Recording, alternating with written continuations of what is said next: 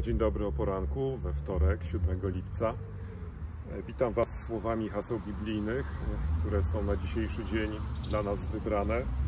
Słowo z Psalmu 31, wiersz 23. Rzekłem w niepokoju swoim, zostałem odtrącony sprzed oczu Twoich.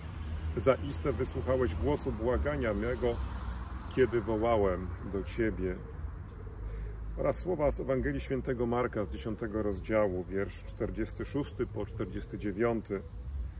Syn Tymoteusza, Bartymeusz, ślepy żebrak, siedział przy drodze. Usłyszawszy to, że Jezus z Nazaretu, począł wołać i mówić: Jezusie, synu Dawida, zmiłuj się nade mną. I gromiło go wielu, aby milczał. Wtedy Jezus przystanął i rzekł: Zawołajcie go. Z całą pewnością w naszym życiu nieraz spotykamy się z takimi wyzwaniami, z takimi doświadczeniami, które wydają się być ponad nasze siły. Często ta proza życia nas bardzo mocno przytłacza, czujemy się obciążeni, nie widzimy wyjścia z sytuacji, w jakiej się znaleźliśmy. Być może tak zostaliśmy wychowani, że tłumimy to w sobie, że tłamsimy ten głos, który chciałby krzyczeć, który chciałby wypowiedzieć słowa skargi, który e, chciałby poprosić o pomoc. E, a tymczasem gdzieś tam na różnych etapach naszego życia e, te skrzydła, które powinny nam pozwolić odbić się od ziemi, żyć z radością, z uśmiechem, tych skrzydła zostały przycięte, może połamane. Czujemy się bezradni, boimy się poprosić o pomoc, e, nie chcemy e, innych obciążać naszymi doświadczeniami i tak żyjemy z dnia na dzień, a tak naprawdę jesteśmy umarli, bo nie widzimy wyjścia, bo nie widzimy radości, bo nie widzimy nadziei. Tak to Słowo Boże, które dzisiaj rozważamy, zachęca nas do tego, byśmy ten nasz ciężar z siebie zrzucili, byśmy wypowiedzieli to, co jest dla nas trudne. W słowach psalmu e, psalmista mówi, że miał wrażenie, że jest odtrącony od Boga, a tymczasem ten jego głos, to jego, ta, ta jego skarga doszły do Boga. E, ten głos błagania został usłyszany e, i Pan Bóg dopomógł temu człowiekowi, który był w kryzysie swojego życia.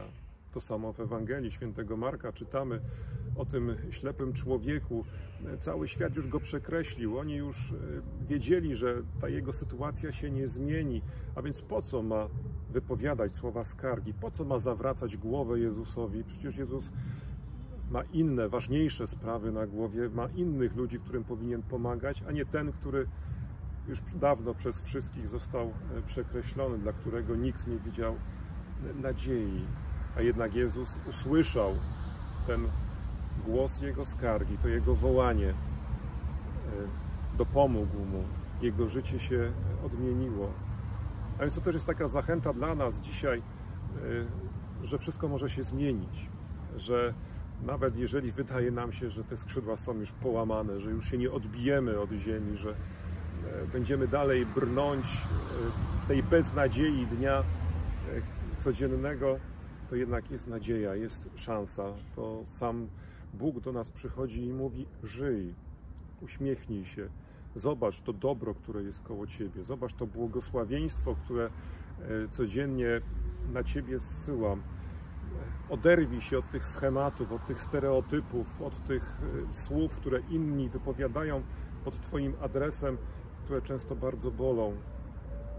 Zawierz Bogu, zaufaj Bogu zawołaj do Niego, e, a On pomoże Ci stanąć na nogi, On pomoże Ci rozwinąć skrzydła, e, On pomoże Ci z radością, z ufnością, z wiarą, z miłością przeżyć każdy e, kolejny dzień życia. Wtedy odnajdziesz samego siebie, odnajdziesz sens swojego życia. Będziesz wiedział, dokąd pójść i co powiedzieć. Dlatego w naszych modlitwach nie bójmy się też słów skargi, nie bójmy się e, tego, by poprosić Boga o interwencję. E, nie bójmy się wierzyć Bogu, ale też e, uwierzyć własne siły, własne możliwości, własne zdolności, które przecież Pan Bóg każdemu z nas dał. Dobrego, błogosławionego dnia Wam wszystkim życzę, a to, to krótkie rozmyślanie zakończmy słowami modlitwy. Panie Boże, Ty nas stworzyłeś, Ty nas ukształtowałeś. E, Ty chcesz, abyśmy pięknie żyli.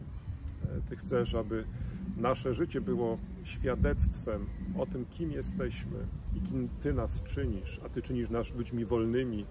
Ty chcesz, abyśmy byli przepełnieni miłością, abyśmy byli szczęśliwi i uśmiechnięci.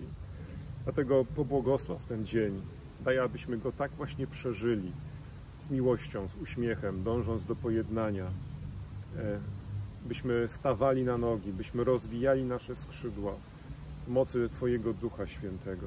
Ty bądź z nami, ochraniaj, prowadź, a o to Cię prosimy przez naszego Pana i Zbawiciela Jezusa Chrystusa. Amen.